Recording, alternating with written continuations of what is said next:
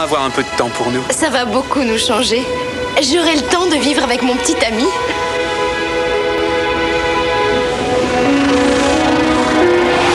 En fait, je pensais à quelque chose de plus officiel.